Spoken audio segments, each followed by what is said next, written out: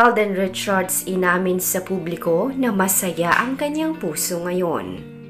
Ngayong araw nga ginanap ang mall show and promotion ng brand na Wiltech na kung saan si Alden Richards ang bagong muka at ambassador ng nasabing brand.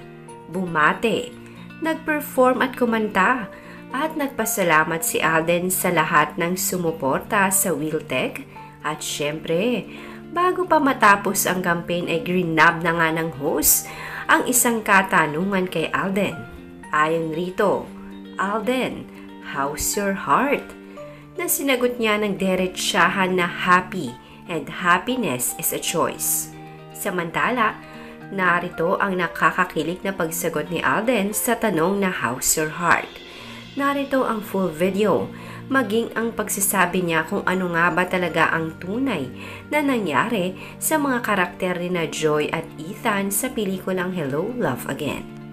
And uh, nakakatuwa lang talaga na, you know, being part of a milestone of a, you know, kahit uh, dumaan lang ako dito as guest, nakaka-proud pa rin talaga.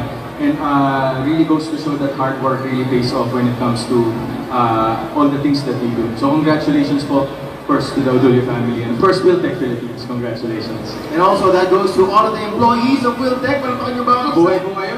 Grabe! You all made it this far.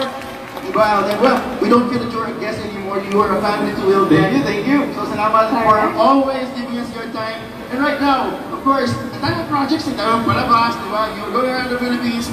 What is uh, something na aabangan talaga namin sa iyo ngayon, Alden? I think for this year talaga, uh, aside from Pulang Araw, yung Hello Love Again uh, is coming uh, soon on cinemas. is coming November 13 na po. And uh, we're very excited to, you know, ano na ba ang nangyari sa kwento ni Joy ni Yun! Yun, yun yung uh, very, we're very excited to tell. Nakita niyo naman yung teaser? Nakita niyo ba yung teaser na pinapos Yes. I'm not sure. Yes. I'm So, so Joy is gone. Joy's gun nga ba? Yun ang question. So, yun po.